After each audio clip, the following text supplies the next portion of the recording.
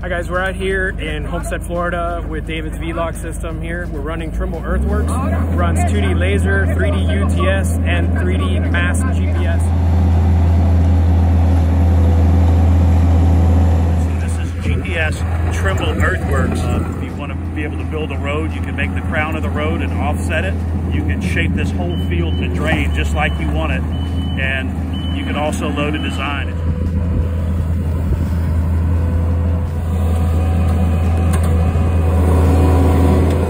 This is the UTS system working with a skid steer. It's 3D system.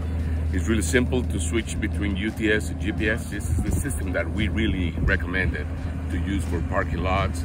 3D performance with the best accuracy ever.